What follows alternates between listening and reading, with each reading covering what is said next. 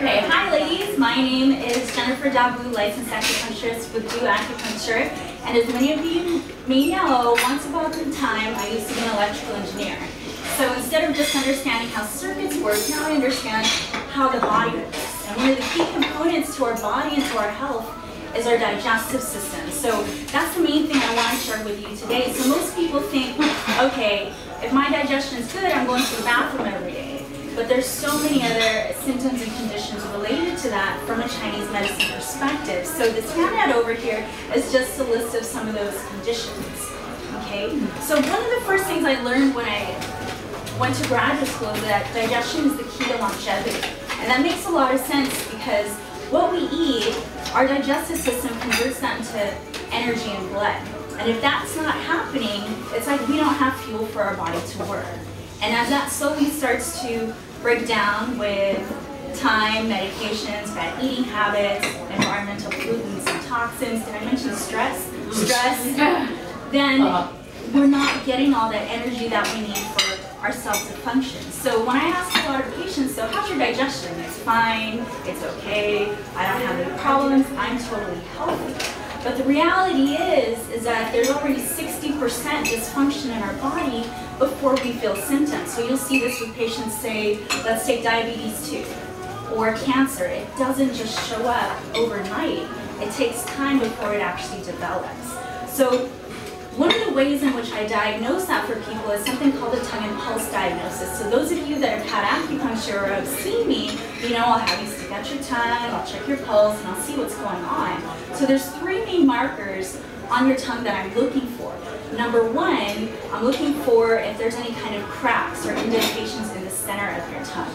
And that center of your tongue is related to your spleen and your stomach, which in Chinese medicine controls your digestive system.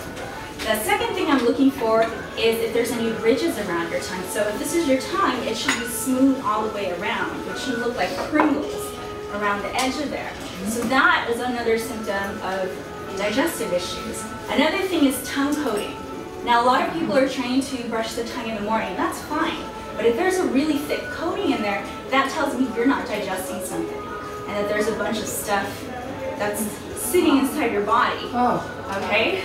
Yeah. Um, okay. Yeah. You know what, though, Lynn, I would say something, our acupuncturist, we, everyone's like, oh, I can't stand it when she talks during lunch because it's this kind of stuff.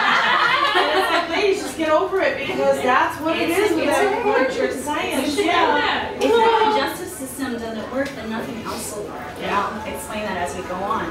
Now, that tongue coating, the thicker it is, it describes a pattern that's called dampness. So what exactly is dampness? Dampness is like a muddy river. So in the beginning, probably many, many years ago, probably doesn't exist now, that river runs smoothly and freely. But over time, again, with bad eating habits, stress, medications, etc., it's like there's mud slowly being added. So you don't notice it in the very beginning. But as time goes on, that mud gets thicker and thicker and the water moves slower and slower, just like your digestion. It starts to slow down. So another way to picture it is like the pipes in your house. Have you ever changed the pipes in your house or dropped something down there? What do you find on the inside of those pipes? Gunk, right? Gunk and sludge. And so over time, if this is your pipe, that and sludge slowly starts to close it down. Now our digestive system starts in our upper respiratory tract, so our mouth and nose. So if you're supposed to breathe through something like this, and you start to get that buildup, it starts to close down, and the first symptoms of that are sinus issues, congestion, sinus infections, and the things that you normally eat and breathe that can pass straight through your system, they get stuck in all that gunk and sludge, and that's when you start to get allergies. Wow. Food sensitivities to things that you didn't have before, right? And those allergies can be typical coughing, sneezing, but it can also show up on your skin. So a lot of people get hives or eczema or psoriasis. Okay? And then as it closes down more, you start to snore. and then you snore louder and louder and louder, and then you eventually get something called sleep apnea. Mm. Okay? So those are some things that people don't really associate with digestion. So Another thing, um, in Chinese medicine, there's something called rebellious qi. So rebellious is means opposite, and qi is very, very loosely translated as energy. So with rebellious qi, instead of that energy going down, you're so clogged up here, it starts to go up the opposite way. So that could look like acid reflux, heartburn, hiccuping, burping, nauseousness while eating, or even vomiting when it gets really bad. So we want everything to go in, down, and out. Thank you. Sounds like a good idea. Some of the other common systems are just the digestive issues. So we know that gas and bloating, constipation, diarrhea, I'm so sorry, I know you're all eating. But another thing is, is that you can have a bowel movement every single day, and that can just be moving and passing, slipping and sliding straight through that sludge. So that sludge, mucus, and phlegm, from a Western perspective, your body is reabsorbing that straight into your system. So now you're more acidic, you're more toxic, you're feeling tired, you might even start to be getting headaches and migraines.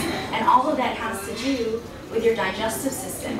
And your digestive system here, they say, depending on what article you're reading, 70 to 90% of your immune system is in your stomach. So if that's not working, right, and you're not digesting food, you don't have any energy right? To fight off colds and flus, to against anything with allergies. So there's a lot of things that go on. Uh, one of the other things, like I mentioned, with the digestive system, it converts food into energy and blood. And there's a saying in Chinese medicine that the blood houses that mind.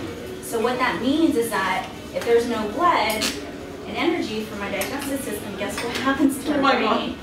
Poor memory, trouble concentrating, depression, anxiety for some people, and a whole list of other conditions. So when patients come to see me, a lot of times they're coming in for pain, maybe their hip hurts or their neck hurts, or they're really stressed out. But another thing that I almost always see is that something's going on in their digestive system. So that's a key thing to keep our immune system working. And in our digestive system, it's not just our spleen and stomach, it's our intestines, it's our liver, our gallbladder, and controlling stress. Right? Who here is affected by stress? Right? And a lot of times when we're stressed, it affects our digestive system also. So those are all things that we can target with acupuncture. And also clearing the sludge out of your system so that those pipes How would you water. recommend doing that? Clearing the sludge out of our system. Number one, cleaning up your diet. That's the best way for you to help yourself. Fruits and vegetables. Number one food that adds to that dampness is dairy. That's what I was gonna ask you. What foods should you avoid? I, I was, I was gonna ask if like um, chia seeds, are they good? Because they help, they help clean your digestive system, that's what I've been told. Yes. That's an insoluble type fiber. Oh, Is that soluble? Or insoluble? Chia seeds? Insoluble. Yeah. Oh, I always confuse those two. Soluble is dissolved. You have one It's minute. insoluble. I have one minute. Questions? Oh, let's just talk about my brand digestive enzymes and probiotics. Does that come into that picture? Okay. So March is asking because one of the things I recommend for patients is digestive enzymes, probiotics, taking some kind of fiber, having some kind of green drink if you're not juicing yourself, just to also help with alkalinity. So there are products that I sell in the clinic. So digestive enzymes are important because they help break down food. So when you have food, let's say you're eating a steak, that steak, you can eat it, but if your body's not breaking that down, it can't use it for this energy and energy in your right? You can just sit there and I won't use Oh, we can imagine Yeah. what it's doing, don't worry about that. So we want to be able to use the food that we're eating, especially if you're starting to eat organic, you're spending a lot of money on your food. What a shame if it just goes through, sits in there, adds more gunk and sludge, and doesn't benefit you for your overall health. So that's one of the things that digestive enzymes do. You have one more minute. What, what? You, see the look of fear on your face. Go first. No, no, no, go ahead, go ahead. No, so going back to the foods to avoid, main foods, what do we, dairy, what else? And meat. No? No, No. not not really meat. Depends on your overall digestive system. But luckily in Chinese medicine, they're not huge on being vegetarian or vegan. Oh. All of, all my Chinese supervisors and teachers, whenever someone would come into the clinic and say they're vegan and, vegetarian, they'd say you need to eat at least a little, a little bit of So preferably if you're gonna eat meat, it should be grass fed or organic.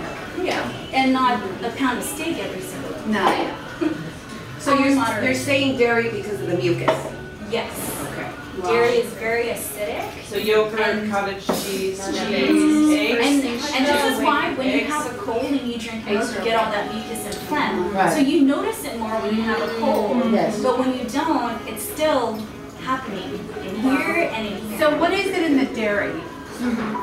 It's acidic, it just causes a lot of mucus. It's also very hard for our bodies to break down. Because we're usually low on the enzymes Who's to talking break it next? Down. Nobody. Is almond milk good? I just had a quick question. Almond milk. Almond milk is good if you're not allergic to nuts. Okay, cool. Anybody else with their hand up? I am. They don't- She's trying to think most of her minute. Uh, so, you're talking about this slush. Oh, okay. The sludge, yes. So when we pass what we pass through, we pass this, we think the slush is going to it. Is the slush caught in the cilia of the intestine? And if so, what can we do to lift it up so it goes with everything? Come for that. Come for acupuncture. So the needle. Well, let me Testimonial, testimonial.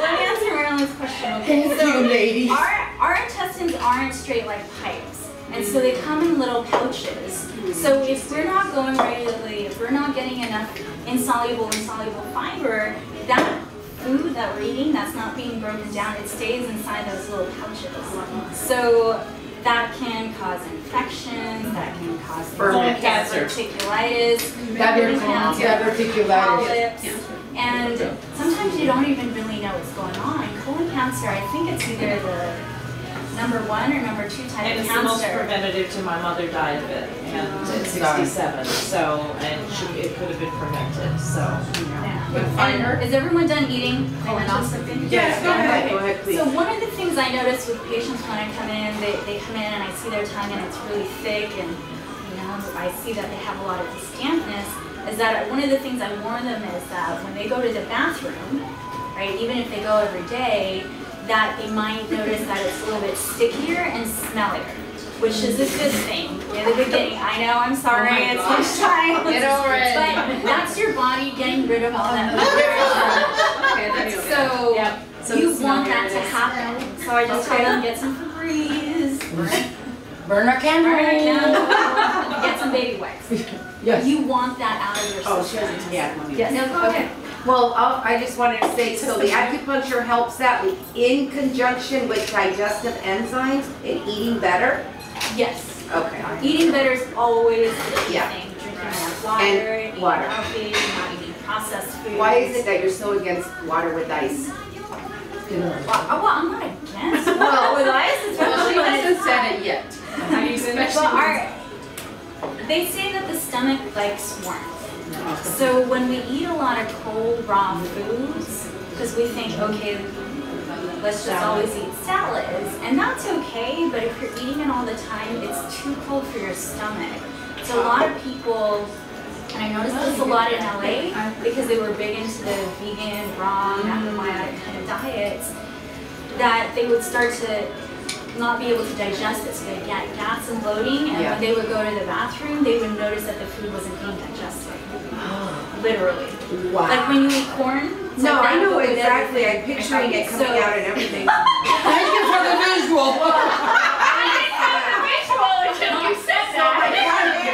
Is that mean because we're lacking protein?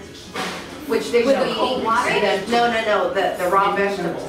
Because they should be eating it maybe with a little bit of chicken and all It's that. It's harder whatever. to digest.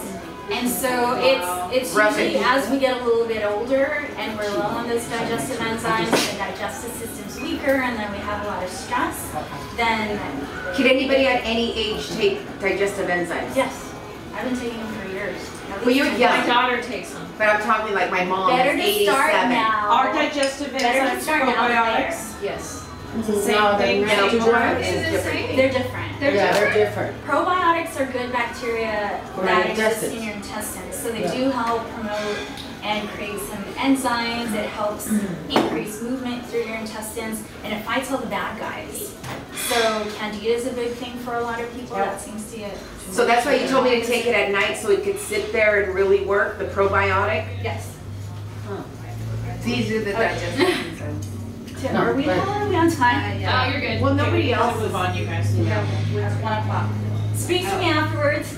I just have to say quickly that Jennifer, the whole tongue thing, I took my daughter in, and I've been a fan of acupuncture for years before I met Jennifer. But I took my daughter in. Not only is she gentle and she was prepared, she had a teddy bear there for her and everything. Um, but I went in for shoulder pain for my daughter, and right away Jennifer read her tongue and said, She has insomnia, she's not sleeping at night. I had no idea, It's my daughter's age. she doesn't sleep with me, you know? And I looked at her and I asked her and I said, Are you not sleeping at night? And she said, No. So that's something that as a mother, I, you know, I'm exploring that. What's going on? Why aren't you sleeping at night? And she just, she helped her with her pain and she also schooled me on the fact that she's having some digestive issues. So we know what to stay away from now. It works. I'm glad that you. Thank you very much. Thank you.